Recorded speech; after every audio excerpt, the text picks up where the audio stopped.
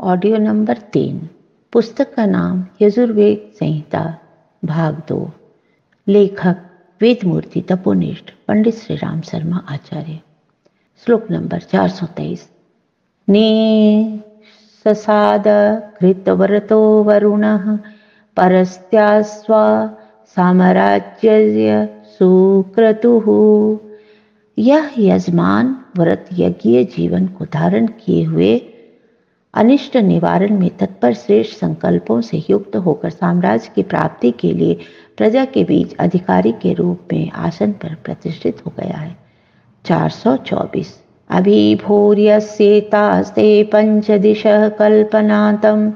ब्रह्मस्त्वं ब्रह्मासि, सवितासि, सत्यप्रसवो वरुणोऽसि, सत्यो जाय इन्द्रोऽसि, विशौज रुद्रोऽसि शुषेव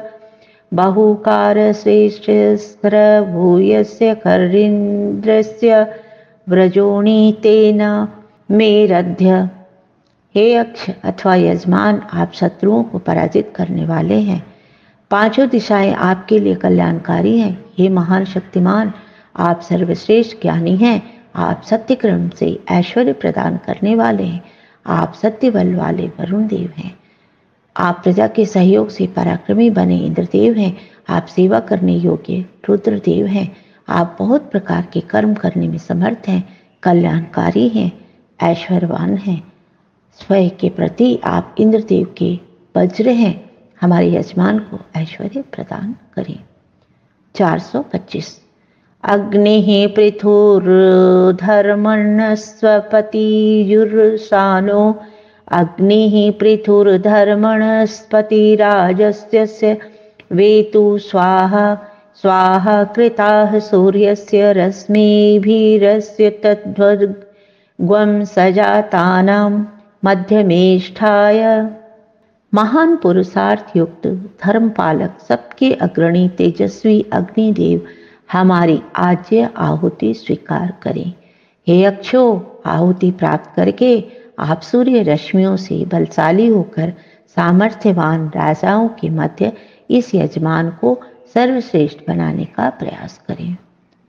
426 सवित्रा प्रस, प्रसवित्रा सरस्वत्या वाचा त्वष्ट्रा रूपैः पुष्णा पशुभिरिन्द्रेर्णास्मे, बृहस्पतिना ब्रह्मणा वरुणेनोज्जुस्वाग्गिना न तेजसा सोमेन राज्ञा विष्णुना दशम्या देवतया प्रसुतः।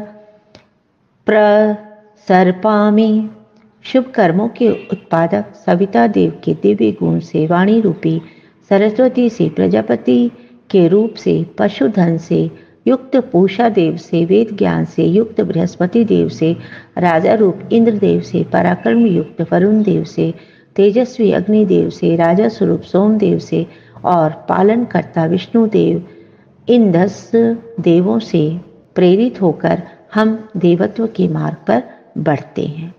427 अश्वीभ्यां पच्यस्व सरस्वत्यै पच्यस्वेन्द्राय सूत्राम्नि पच्यस्व वायुः पूतः पवित्रेण प्रत्यङ्ग्य सोमो अतिश्रुतः इंद्रस्य युज्य सखा। इस कंडिका में हवान्य के प्रति कहा गया है, आप अश्विनी कुमारों के निमित्त, देवी सरस्वती के निमित्त एवं इंद्र आदि देव शक्तियों को नियोजित करने वाले इंद्रदेव के निमित्त परिपक्व हों। वायु द्वारा पवित्र हुए इंद्रदेव से जुड़े हुए उनके मित्र ऐश्वर्यशाली अभिसूत सोमदेव का अवतरण हो रहा है, उसे धारण करें। 428 कुविदंग यवमंतो यवम, चित्तथा दानत्यनुपूर्वं वियूय। इहे हैशानां क्रीणुहि भोजनानि ये। बहिरुसो नमः उक्तिं यजन्ति। उपयाम गृहतोस्येभ्यां त्वा सरस्वत्यै त्वयेन्द्राय त्वा सूत्रामणे। हे सोम, प्रजाओं की रक्षा की कामना से आपको ज्ञानवान ऐश्वर्युक्त अश्विनी कुमारों, देवी सरस्वती तथा इंद्रदेव के लिए हम उपयाम पात्र में ग्रहण कर, जिस प्रकार जौ की खेती करने वाले कृषक जौ को संभाल कर काटते हैं एवं सुरक्षित रखते हैं, उसी प्रकार देवताओं के प्रिय सोम दुष्टों का दमन करके उत्तम पुरुषों के कथन कथनानुसार श्रेष्ठ जनों को पोषण प्रदान कर उनकी रक्षा करें। श्लोक नंबर चार सौ उनतीस।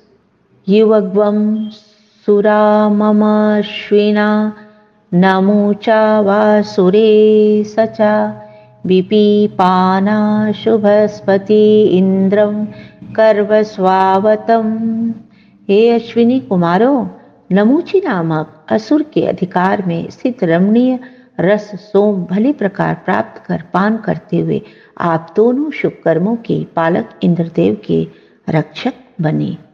430 पुत्रमेव पितरावश्विनो भेन्द्रावथुः काव्यैदर्ग्वं सनाभिः यत्सु रामं वपिवं सचीभिः सरस्वती त्वामघवन्न भीषणकम हे इंद्रदेव राक्षसों के संसर्ग में रहे काव्यों, गलत छंद प्रयोगों से अशुद्ध सोम का पान कर स्वयं को संकट में डालकर अश्विनी कुमारों ने आपकी रक्षा उसी प्रकार की जैसे पिता पुत्र की रक्षा करता है। आपने नमूची का वध करके जब प्रसन्नता प्रदान करने वाले सोम का पान किया, तब देवी सरस्वती भी आपके अनुकूल हुई।